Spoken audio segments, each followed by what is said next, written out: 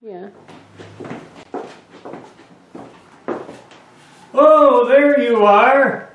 Where have you been? I've been worried sick about you. How you guys doing? Um, a lot has been going on and we have a lot to show you. Uh, a lot of progress in many areas. The uh, tool chest is finished. That is the box portion of the tool chest is done. It has a uh, Danish oil finish on it, but we still have to make the trays that go inside. So that's a whole nother show.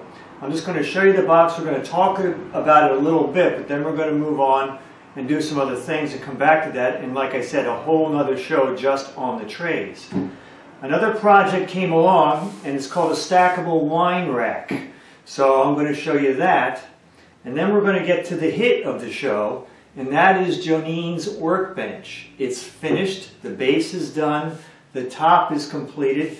We put the last coat of finish on the surface last night, and we're going to assemble it right here on the show for you. So you're going to see the wonderful bench that Jonine has.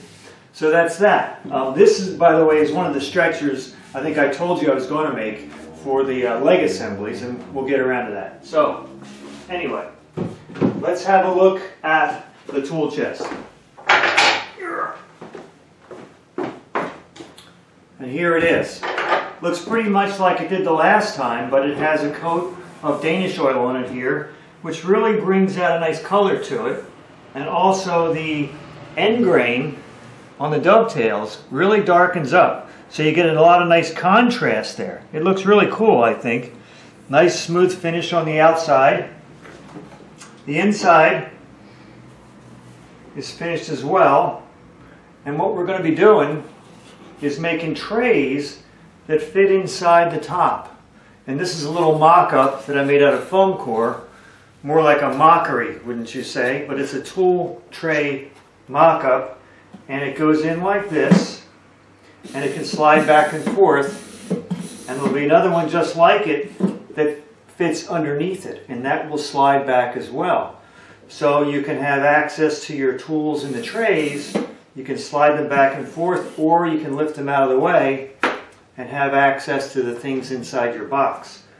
So uh, these will be made out of quarter inch wood, solid wood bottoms, and they will be tiny little dovetails joining the corners. So uh, they're going to be a lot of fun to make and a lot of work. So uh, we'll get around to that. So um, that is our tool chest. Now, the next thing.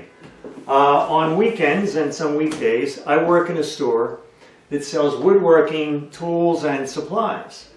And on Saturday mornings, I like to have a project going on so that when customers come in, they can sit and see the progress and sip their coffee and tell me what I did wrong and so forth. So uh, that is a, uh, it's called a stackable wine rack. We sell the plans at the store, so I picked them out and decided to build them, uh, the wine rack, and uh, the, the customers get to watch me do that. Uh, I've got some shots now of me putting that together and also assembling it and so forth, so we're going to go to a cutaway now and you can see that.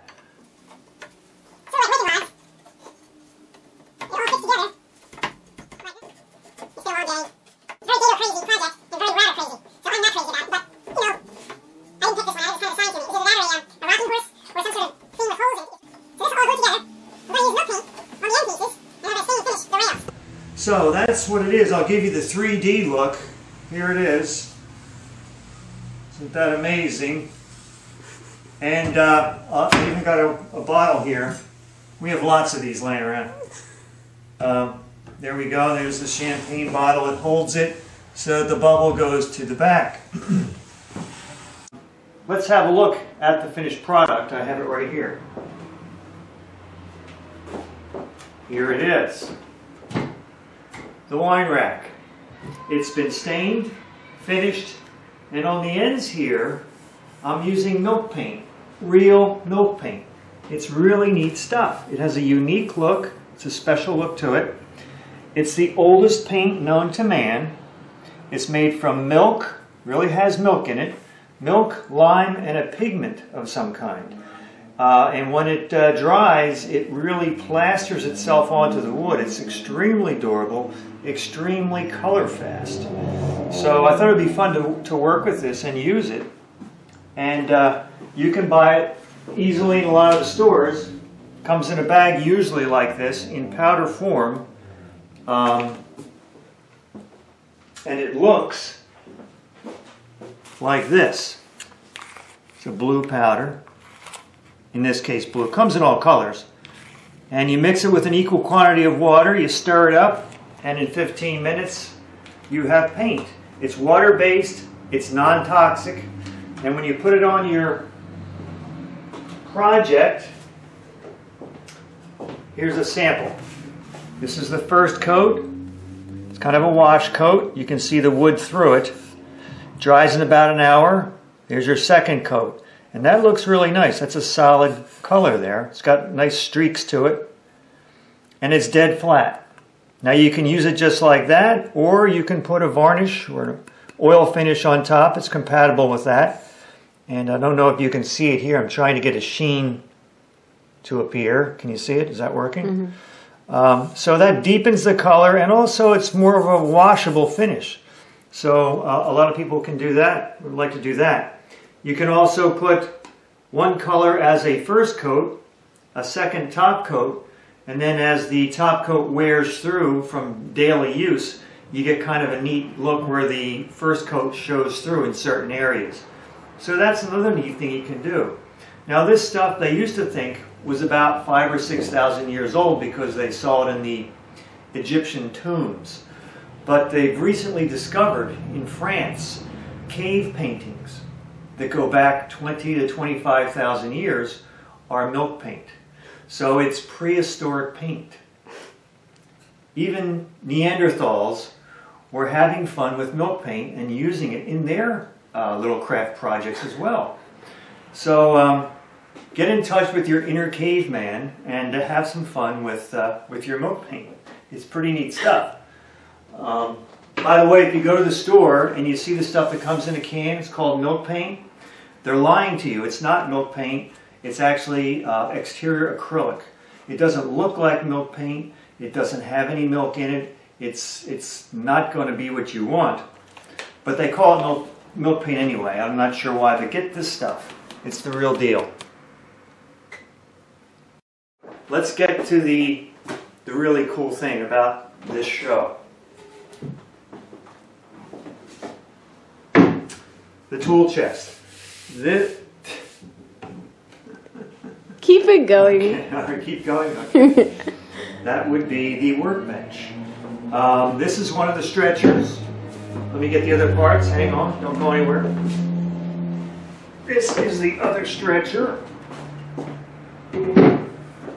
that joins the leg assemblies. Here's one leg assembly. Don't fall. Mm. And here's the other one. And what we're going to do is we're going to assemble this and then we're going to put the top on. So we're going to be dissolving in and out and you'll get to see the whole thing. So here we go. Now these bolts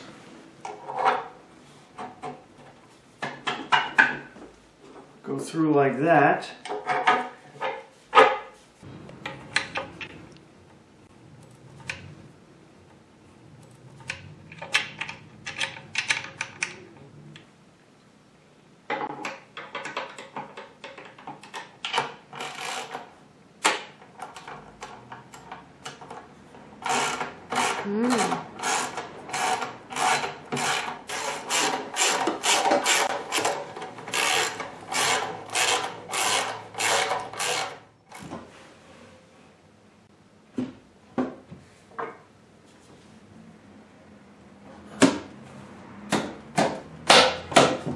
Is it all together?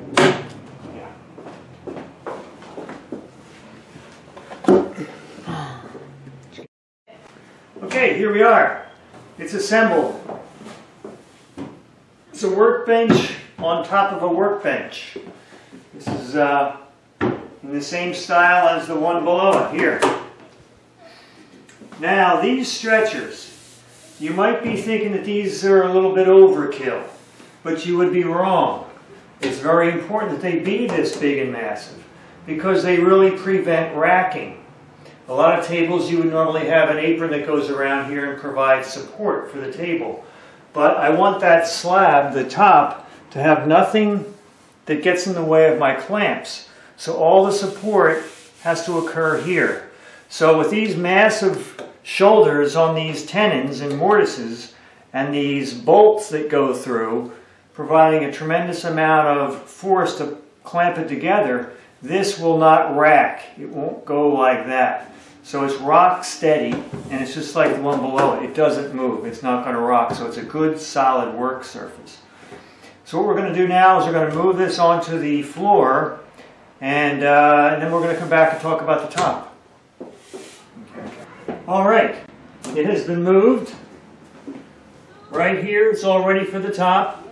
Let me just tell you a little bit about the top. Um, remember the last time it was laminated up, but it needed to be drum sanded flat, just like this top here. So I took it, I was going to go back to the place that did this top, and when I talked to them, they said they don't do that anymore. Uh, they closed down their shop and they wouldn't do it. So um, I went all over the place trying to find somebody that could drum sand this top nice and flat and was striking out all over the place. So the last place that I went to uh, does architectural millwork for big institutions, big big companies and retail outlets and stuff like that. And um, I was sure this was not going to work out, but I went in the door anyway. Turns out I went in the wrong door, walked into their corporate offices where visitors aren't allowed, and I'm wandering the halls trying to find my way to the front. Uh, and a guy comes down the hall and says, Can I help you? And it turns out it was the CEO and president of this company. So um, I said, I'm sorry, I, you know, I, I came in the wrong door. I'm just trying to find my way to the front. And he said, Well, um, what are you here for? And I said, Well, I'm making a workbench and I need someone to help me mill the top down. And I showed him a couple snapshots. Here's a snapshot of the uh, of this workbench, and here's a snapshot of the top that I wanted to have work done on. So he looked at the photographs. He said, "Well, that's really neat. You, you made that workbench?" And I said, "Yeah." He said, "Well, heck, I can do that." So he gave me his card. Said, "Come on by next week. Give me a call first, and I'll take care of it personally for you." So that's what we did. We dragged the top to his place, uh, and he unleashed his uh, his workers there, and they milled the top flat. They cut the ends smooth. It came out looking beautifully. So uh, he didn't want any money for it. I managed to stuff a few 20s in his hand, and I told him to buy beer for the crew. So a hearty cheer went up in the shop, and uh, I went on my way. So the top looks great, and I'm going to get it now. Jonine's going to help me. So here we go. Okay, now you're on your own here. Jonine's on the other end of the workbench. You're sitting on a little tripod directly on the workbench. So we're going to pick you up and move you onto the bench. Be careful, don't fall. Keep your balance if you can. Here we go. All right. Watch your step. Okay. Okay. Set her down. Like this. Okay. There we are. It's in place. And the bench is completed. That's what it looks like. Rock solid. Turned out better than I had hoped. The wood grain is beautiful. I don't know if you can see it on camera, but it's beautiful. Has nice, beautiful knots and a great feel to it. It's got several coats of Danish oil on it, and in about two or three weeks when this cures, we're going to put uh, a coat of paste wax on it so glue and paint and stuff don't stick to it.